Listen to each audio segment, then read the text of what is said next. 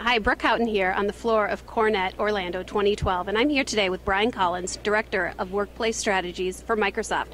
Brian, talk to me a little bit about emerging markets and the opportunities that Microsoft sees in those markets. Yeah, it's a huge opportunity for us. It's a huge growth market, not just for sales but for talent. We're seeing a lot of uh, localized develop, uh, software development markets uh, in China, India, in other places now like Egypt. Um, so it's a great opportunity for us. It's an exciting time. We've uh, we're going in. We're talking to our employees uh, real focus on showcasing our diversity um, through the workplace. Uh, we are leveraging our integrator program as well so that we can really push our global strategy but hire the best brains locally to help us deploy our strategies uh, there.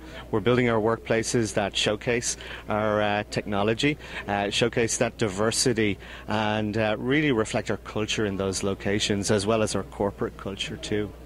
Okay, so you reflect the corporate Microsoft culture, but then also the local culture. How do you combine the two and gather that information? Yeah, it, it, it's a balance between, I guess, function and form. So, from a corporate perspective, we know how to build concentration spaces.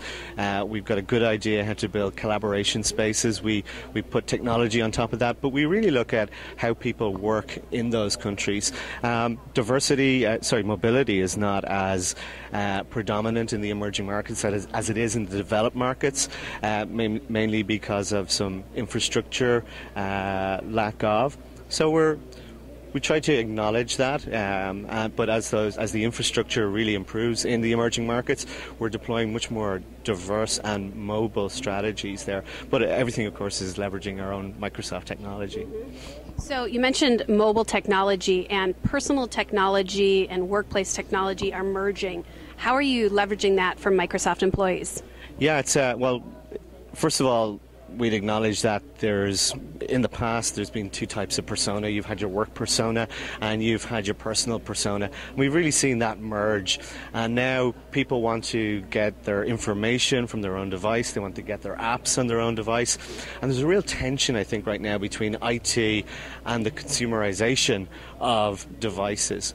Uh, so, obviously, Microsoft uh, and the position that we're in, we've got a great wave of launching products with Windows 8 um, where we can protect the IP of the enterprise, uh, let people have access to information on their devices, their mobile devices, their tablets, their laptops.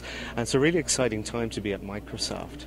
Yeah, I hope Jones Lang LaSalle takes some of that technology in house as well. We hope so too. yeah. Well, thank you for joining me. We're on the floor of CoreNet in Orlando.